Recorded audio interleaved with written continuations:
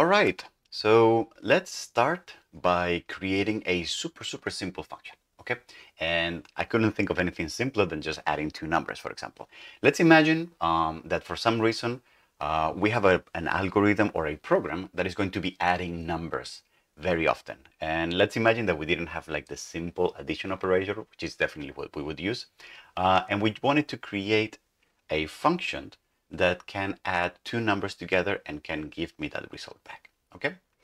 Um, the way that we would do that is by defining that operation, defining what kind of inputs and how many that function is going to take, and then defining what the result of that operation will be, and then implementing that code in the function. What does that look like? Well, the first thing that we're going to do is, let's look at this program that I have here right now. I already have like a template for, I have two numbers here as doubles, and then I have that operation, which is adding the two numbers, and I'm printing that to the console so you can see the number 33 here. Okay, but what I want to do is I want to replace this with, instead of a hard-coded operation, I want to abstract this operation into its own function. Okay, so the way I'm going to do that is by going all the way outside of this one function here. Okay, and I'm going to go back to that root. And then what I'm going to do is I'm going to define here in this scope, I'm going to define that there should be an operation called addition that takes two numbers and return a third number that is the sum of them both. The way we do that is very simple. The way we do that is first, we're going to define the function by defining its name. So I'm going to define that the function is going to be called addition. Then I'm going to open and close parentheses. I'm going to open and close curly brackets. And it's giving me errors because we're still not there yet. But you're already pretty familiar with this idea of like open, close parentheses, open, close curly brackets uh, to define things. Then what I'm going to do is that here in the parentheses, what I would like to say is that I need to specify here that this function is going to accept two values that are going to be numerical. And because C Sharp is a strongly typed language, we need to specify that those are going to be numbers or integers or strings or whatever they are. The way we do that is by typing, well, I'm, my function is going to take two numbers. So whatever is given to this function first is going, I'm going to call it the value A. All right. Sorry, value A. And I need to specify that this is going to be A double. All right. And I also want to specify that my function may accept a second argument, a second thing. Uh, this is going to, I'm going to refer to it as value B, and it's also going to be of the type number, of the type double, all right? These two things here are typically referred to as the arguments of a function. So what are the things that a function takes as inputs, all right?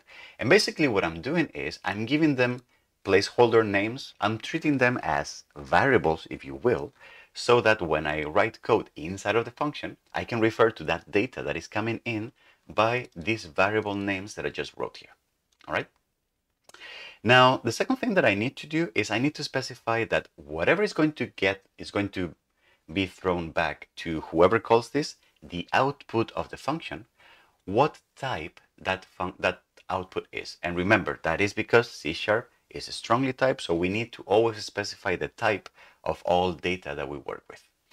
Um, because we're adding two numbers together, the result is going to be also a number. So the way we do, we specify that that, the, that that output is going to be a number is going to be by writing the type of the data that is an output before the name of the function that we just created. Okay, and then uh, another thing that we need to add, and for the time being, I'm going to ask you to just trust me on this one. It will take me, uh, I will not be able to really explain why this is the case until we reach object-oriented programming and classes, right? But for the time being, for this particular example in a console application, we will need to add the keyword static to the beginning of the function, okay? Just trust me on this one for the time being. I will explain further down in this series why this is the case. Okay? Okay, we're ready. So we have the skeleton of a function that takes two numbers as inputs and returns a number as the output. So now what I need to do is inside of the function, I need to write the code. I need to write the algorithm that is going to perform that super um, high level calculation, right? And what that's going to be is I can do, for example, what I can say is I can, I can create inside of my function, I can create a variable and I'm going to call it addition added or whatever. I don't know. It doesn't really matter. And then I can say the result of the value of this value has to be the value of the two inputs that have been given to this function combined as a sum. All right. If I do that, you can see that I should probably think that my code is ready, but it's not ready yet because if I go over the um, if I go over the error that the compiler is giving me, it tells me that not all the code returns a value, which is a weird thing. But I want you to imagine that in this algorithm, instead of being like a simple addition, it was like a million lines of code, right? Where we would we were doing a lot of like really complex operations to find the output, the result. If that was the case, the computer would not really know from how would the computer know from those 1 million lines of code which is the actual one value that needs to return back as the result of this function, right? The computer cannot know that. So it's us. We have to specify what is it that it's the result that we want to throw back as an output from this function. And the way we do that is by using what's called the return keyword. It's just as simple as saying at the end of the function, when you're done with your calculations, you write here return, which is a special keyword, and then you after that you return what is it exactly that this function should be outputting. In this case, it's going to be the value of the variable that we have defined called added. Okay? And I see that there are no more errors anymore here. Uh, so that's great. Um, so how can we now try if this works? Well, the idea would be let's substitute here a and b. And let's substitute this by my new function. You can see how addition, um, it now shows up as part of what I can do in my program. And then I open parentheses and then I say, well, I want to add here the values of a and b. All right. And if that's the case, then uh, when I execute my code, I get the result of the value of 33. All right. How awesome is this? Uh-huh. I want to take a second to, um, to make sure that we understand exactly step by step what's going on when we call this function and where, how the data is flowing. Uh, if we think of the main program, right, we know that we declare two variables, they have their, those values, and then we have this function call here. If you remember when we discussed statements, we discussed that statements are typically executed from the right-hand part first, and then, uh, especially when it comes to declarations and assignments of variables, the first part that gets executed is the right-hand most, and then that gets assigned to the value of the variable. So what's happening here is that when we reach this line of code, the first thing that gets executed is the this part of the statement here. Then the computer jumps to the function declaration, and because the value of a is 10 and the value of b is 23, what the computer does is that it jumps to the function declaration, and then it assigns the value of 10 to the variable value a, and it assigns the value of 23 to the variable b, to the variable value b. So that when I am inside of my function now, value a and value b have those values that have been passed in here as arguments. Okay? They get added together, they get sent back as outputs of this function as any number. So at this point, this is the value of 33, and this whole thing, because it's the output of the function, it becomes the value of 33. That value of 33 gets assigned to the newly declared variable called sum, and from this point on, in the value of the in the value in, in the life of the program, sum has the value of 33.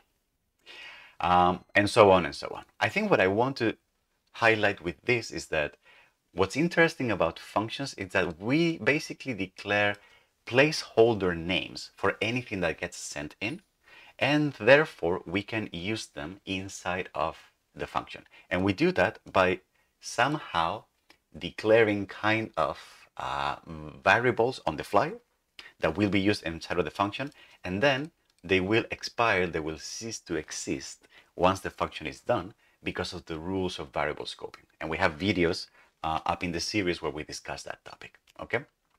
Therefore, the fact that this is called A and B has nothing to do with this being called A and B.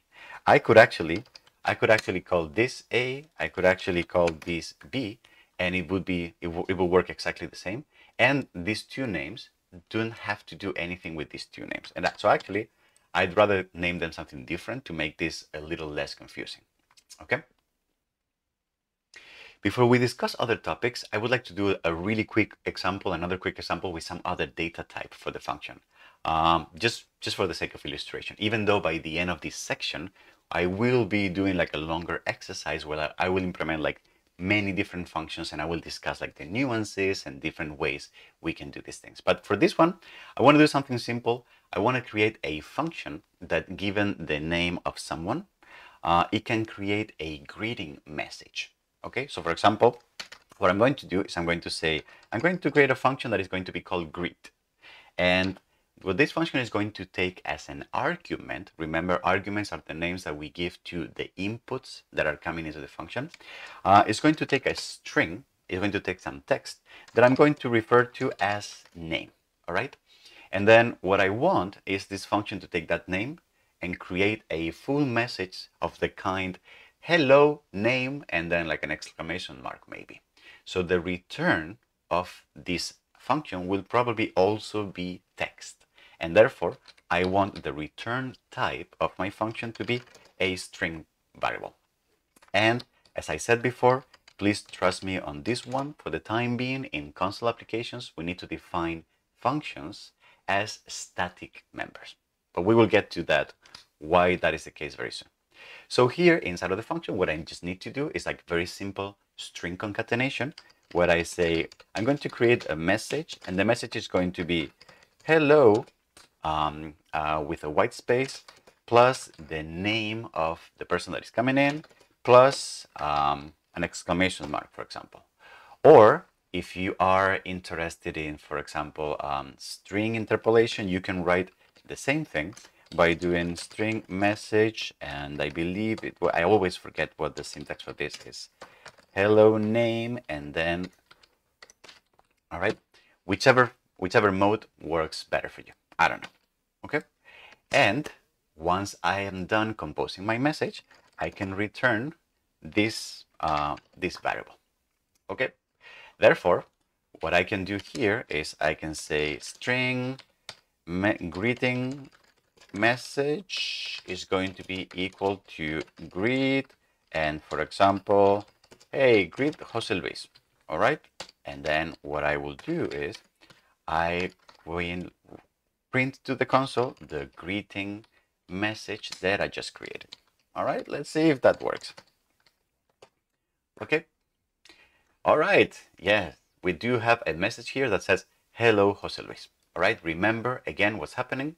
This string gets sent to the function. It becomes name. Then I can operate with that. I can create a new message, a new string, and then send that back. All right. Also, I when I teach, I like to be very, very explicit and break down all the possible steps. Uh, but you may actually, for very simple operations, you may actually shorthand. You may actually want to shorthand these things. So for example, something that you could do is here, you may want to say, well, instead of creating a variable, adding things together and then returning that variable, something that you can do is you can just say, I'm going to here, oops, I'm going to, I'm going to here, sorry, I'm going to return the value of value A plus value B. All right. This that I just did, is the exact same thing. It's just a little short-handed. Similarly, I could just do here, I could just copy paste. Oops. Oh, I'm a little clumsy today, huh? Uh, what I could do here, I could just say, can I just return directly this message that I have composed? All right. And then this would work exactly the same. If I execute this, both things will work. And similarly, here in this program, I could just, for example, instead of creating the message and a string variable and printing it to the console, I could just directly print to the console the result of greeting Jose Luis. Remember, the way this would work is that this would get executed first, it would turn into a string message with the hello and the exclamation mark, and then it will be printed to the console directly. This approach might be easier if you don't need to keep the message for reusing it further into your program if it's going to be just a one-off, okay? Then maybe you just don't want to waste the memory of declaring a variable for that.